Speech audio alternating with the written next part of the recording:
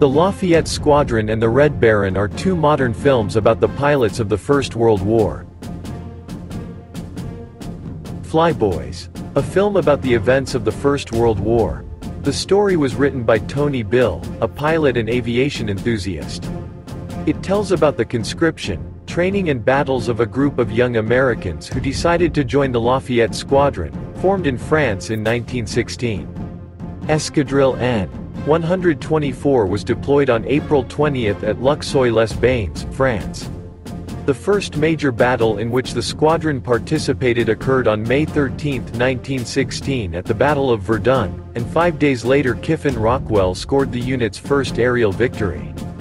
Not all American pilots were in the Lafayette Squadron. Other American pilots fought for France as part of the Lafayette Flying Corps.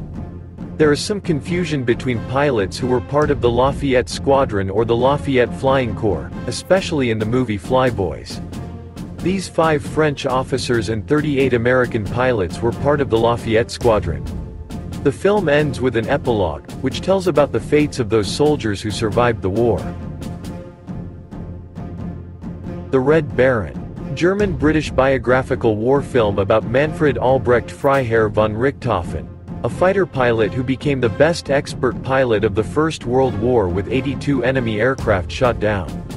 The Red Baron received after he painted the fuselage of his aircraft red, and due to his belonging to the German baronial noble class, Freiherr.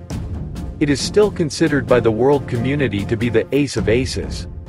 So, of course, the air battles were spectacular and even too much. But why is the main character in the film, a certain Friedrich Sternberg? In Germany, even the film caused quite contradictory reviews, although to some extent everything is clear, because in Germany the glorification of war heroes has become a ban.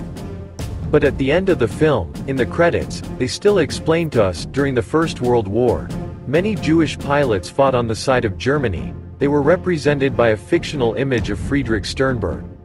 To make such a reference to the best pilot in Germany, to use it in the title and description of the film, but in the end the film is not about the Red Baron. Here is another interesting historical moment. Hermann Göring fought under the direct command of Richthofen in his squadron, and after the death of the Red Baron, on April 21, 1918 in the Somme River area, he became its commander.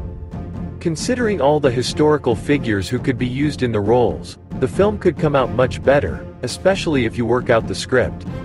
In my opinion, it is at least strange not to use it, and at the same time, the indignation of German viewers is understandable.